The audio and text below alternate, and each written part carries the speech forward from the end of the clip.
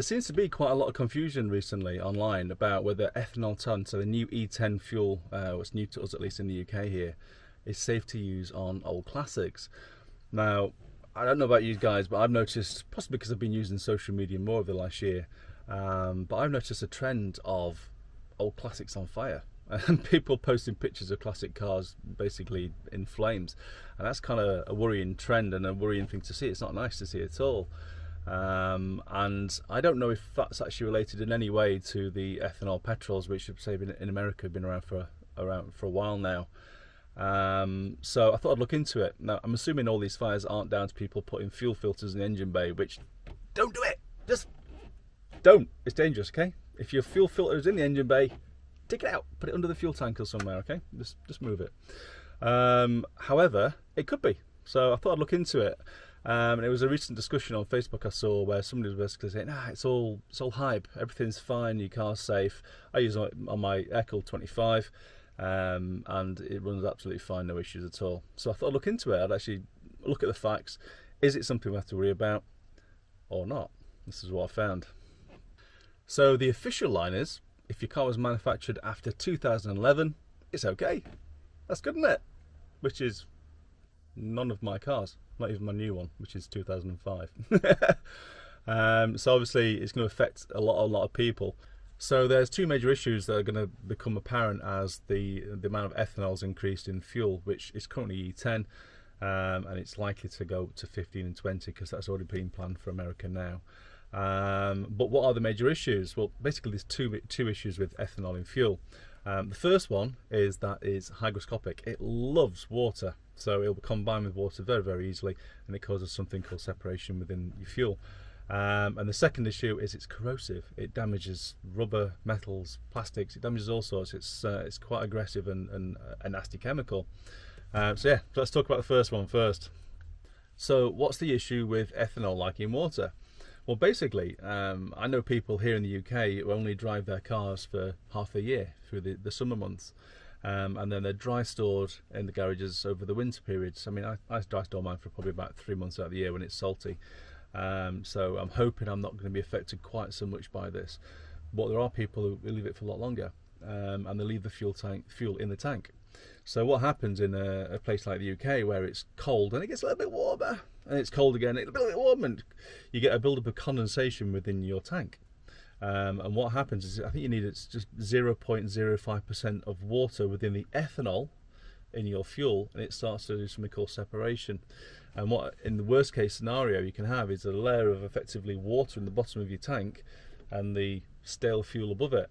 And you come springtime, or come when you start, try and start your engine, it's going to take a big old gulp of the watery stuff at the bottom and that can't be good for any engine or best case scenario you've got basically stale fuel with low octane and again your engine's likely not to be too happy about starting up on that.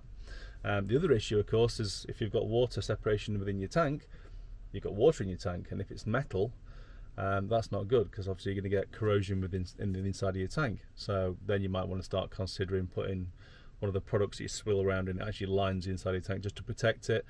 Um, or I guess you could go for a plastic fuel tank, but who wants a plastic fuel tank? Yeah, but there, are issues you may want to consider, and I'm, I'm probably talking worst case scenarios, but these are the issues we've got to consider.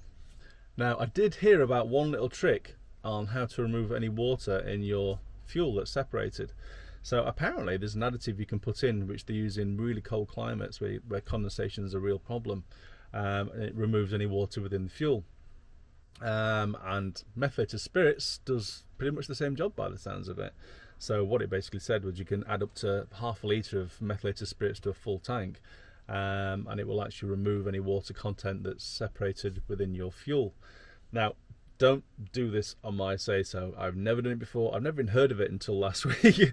so please don't do it on my say so. Um, but I am kind of curious. I mean, I wouldn't consider it for the Subaru powered one with the fuel injection and everything else, but I might consider it on the bit more basic air cooled engines I've got and stuff. Um, but I think what we'll do at the end of the video, I'll do a little experiment. I'll get a test tube um, and we'll see if we can get water separated within it and we'll see if we can reabsorb it with a bit of meths. But we'll do that at the end. So it's the second issue which concerns me the most because that's the one that's most likely to set your car on fire if you have a leak. Um, and that's the corrosive nature of, of ethanol. And obviously, the more ethanol within the fuel, the more corrosive it becomes. Now, within the fuel pipes, um, the issue is that basically rubber is, is permeable, it's got holes through it. Um, you probably noticed if you ever went to the drag strip and it's raining and have a look at the, the tyres on some of the drag cars, you can actually see little bubbles of water, uh, little bubbles of air and uh, coming out of the tyres. So the vapour gets through rubber. Um, and what happens is ethanol vapor gets through basically and it strips out all the, the compounds within the rubber which makes it flexible um, so worst case scenario is your rubber goes rock hard which you might have seen over the last few years um, and worst case scenario is those little little tiny little holes uh, where the vapor gets through become bigger holes and eventually cracks, and then you have a fuel leak. Uh, and obviously that's everyone's worst case scenario. So fuel hose. Um, my first recommendations: if you have any black cotton braided hose of any kind on your on your old classic, the old stuff they used to sell everywhere, it's all you could buy. Take it off. It's dangerous. It's it's terrible stuff.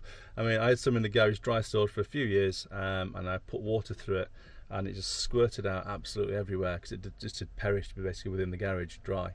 Um, so, and if you can't see the hose underneath it, see what condition it's in, then you don't know you're going to have an issue.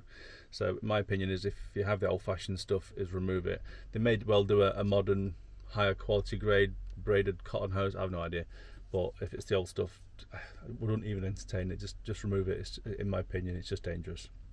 So the two types of fuel hose we need to talk about really are R6 and R9. So uh, I actually bought some fuel hose about a fortnight ago from uh, Motor Factors and it was R6 and that's despite the fact that E10 fuel's coming in.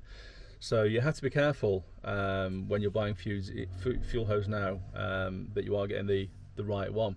So R6 was a standard, it's been a standard for quite a few years now and chances are if you replaced it um, over the last few years you got R6 fuel hose on it. R6 is not designed for ethanol and it will deteriorate and it will eventually fail. Um, R9, so when you buy it basically you need to make sure you've got a little symbol on there, look, if you can see it. So you need to make sure you've got R9 fuel hose which is designed for ethanol. So basically it's designed with three layers. You have an internal layer which is a synthetic rubber which is not, well it's 0.003% the permeability of R6 I believe, so it's a lot less permeable. It'll let, it'll let, it'll let a lot less ethanol through um, through the, the, rubber than the R6 will. So as a, a synthetic rubber ethanol resistant core, um, it's reinforced, it's good for 100 psi, so it's good for fuel injection cars. And then it should have an outer layer which is oil and heat resistant and stuff. So basically R9 is the, is the basic standard now you need to be looking at for fuel hose. And if you've got anything less than that, my personal recommendation is take the time uh, and swap it out and put some R9 on as, as a minimum. Um, I have seen reports online of R9 failing, um, and one particular one said it failed in less than a year with ethanol 10 fuel. Now, I don't know if that's down to a, a misbranding issue or poor manufacturing issues or it wasn't made to standard. I don't know. It seems a bit strange that it would fail so quickly, I'll be honest. Um, and I kind of suspect we don't know the whole picture on, on that particular story. Um, but obviously, once you've fitted this, you want to you want to keep an eye anyway, just to make sure um, and obviously keep an eye on your fuel filter. Um, apparently, it can start to deteriorate the inner core, um, and that goes through to your filter and stuff. So just just be wary uh, and keep an eye out eye out if you're using the R9. But R9 should be your minimum standard, in my opinion, if you're using ethanol 10 fuel. I personally have been using this one for uh, the last five years or so. Um, again, I believed when I bought it, it was um, an R9 equivalent fuel hose, um, and it stood up on with the ethanol 5 fuel hose, uh, fuels quite well. However, I can feel it starting to harden. So I suspect it's not actually R9 equivalent at all because um, this used to be quite flexible and now it's not so much. This is a piece that was actually uh, had fuel going through it for a while. Um, so I actually said this in a previous video, I'm replacing mine this, this winter. That should have been last winter. I'm going to do it this winter. My plan, however, is that. Now, this is Teflon or uh, PTFE um, hose.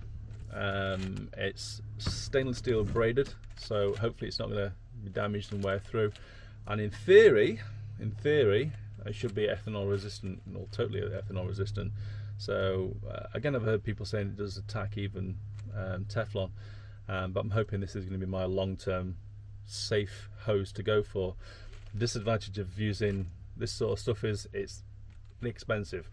Um, this is about nine pounds a meter at the minute. I think if you buy it in uh, a sensible amount of bulk, um, and it's also a bit more tricky to work with. It can be clamped down, but you have to kind of clamp it down in two stages with the outer sheath and then the inner sheath if, you, if it's braided.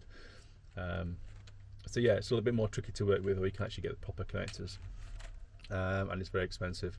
So R9, make R9 your standard, your bare minimum, um, and if you want to get fancy, you could always look at alternatives, uh, which is where I'm going with my um, fuel injection Subaru motored car.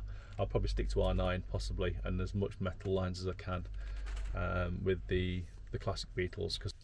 So you've replaced all your fuel hoses with R9, and now you're safe to go driving with E10 fuel all day long, and it'll be no problem at all. No, it's not that easy, unfortunately. So basically, most of us classics have got carburetors and fuel pumps, and they've all got rubber diaphragms and uh, rubber seals and gaskets in there. Um, you may have aluminium or zinc alloy parts which are corroded by ethanol. Um, even cork gaskets can deteriorate with ethanol. Um, and as far as I can see, I mean, I'm, I'm talking worst case scenario, but it's just going to be a minefield of potential mechanical failures or leaks or issues that you're going to have to sort out, um, which could be avoided by sticking to the, the lower grade E5 but higher octane fuels. So for, for beef, the Subaru powered one, I have to use the high octane 98 RON E5 fuel anyway, because uh, it stops pre-detonation in the engine. It's 98 RON minimum. Um, but certainly when I get the air cooled and the classic stuff on the road, um, which hopefully will be next year, I'll be sticking to the uh, to the E5 uh, 98 stuff. I mean, I think it's personally, I know it's more expensive to do it, but for the limited amount of mileage that I drive my cars, um, I think it's it's a small price to pay, or small small increased price to pay for maintaining reliability of parts and not having parts fail, um, and the cost and the hassle and the, the, the nightmare of uh, of all those potential breakdowns and, and stuff. So for me, it might be it might be safe to use E10. I can't tell you it is or not. I can give you the facts that I've learned. Um, but personally, I'm sticking to the E5 for as long as possible. So I hope that helps, guys. Take care. Okay, experiment time. So what we've got here, um, it's actually petrol. It's a funny colour because it's got a bit of oil contamination, but it's just basically uh, 95 petrol. Um, some standard meth, so methylated spirits, and some tap water. So we're going to get the petrol. And I have tried this and I've spilt it once, and my pot's starting to melt. So you have to be quick. So in here we've just got petrol, funny coloured petrol. And I'm going to put a couple of mustard spoons of water in there. Put the top on, give it a shake, and I hope the water and the fuel won't mix. Have to say actually, but it is there, look.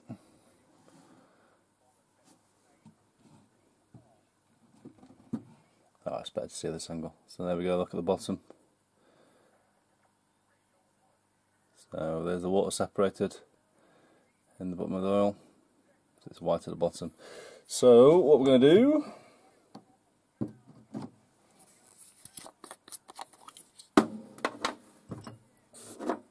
our meths. I'm going to put a couple of teaspoons of meths in here.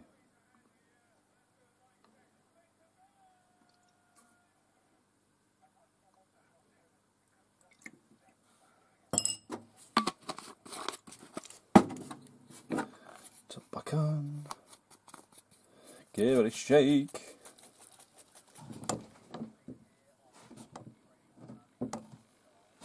And wait. The first time I did this, I didn't expect this at all. What I expected to happen was the all to basically mix in again. And it doesn't do that.